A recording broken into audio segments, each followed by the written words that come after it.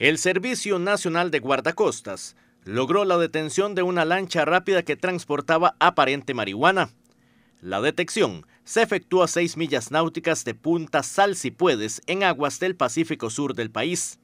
La embarcación es de color gris con azul, de 32 pies, con dos motores. No mantiene bandera, nombre ni matrícula.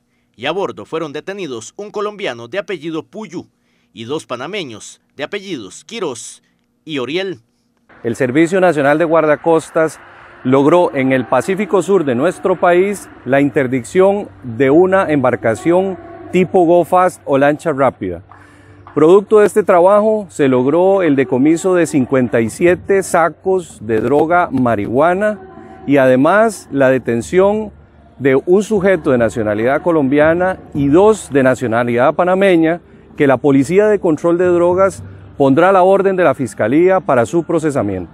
Este operativo se realizó en malas condiciones del tiempo y en plena oscuridad, por lo que el esfuerzo y conocimiento de los oficiales se pusieron a prueba para evitar que esta droga pasara por aguas ticas. En todo momento, una aeronave estadounidense de patrullaje marítimo apoyó esta acción policial. Según informaron en el Servicio Nacional de Guardacostas, la interdicción fue realizada por el Grupo de Operaciones Especiales, quienes en medio del fuerte oleaje tuvieron que dispararle a uno de los motores de la embarcación para lograr que se detuviera, ya que sus tripulantes no atendieron la señal de alto. Este trabajo se logró gracias a las comunicaciones que hicieron nuestros oficiales de guardacostas vía radio con un helicóptero del guardacostas de Estados Unidos, pero también gracias a la utilización de armas de alto poder que tiene la policía para inhabilitar uno de los motores.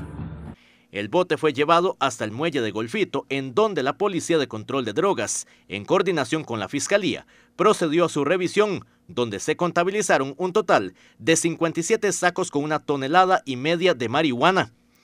Con la incautación, en los últimos tres meses de patrullaje en el Pacífico Sur, el Servicio Nacional de Guardacostas decomisó cerca de 6 toneladas de droga, entre cocaína y marihuana, detuviendo a 13 personas y ha intervenido un total de 11 embarcaciones que transportaban estupefacientes.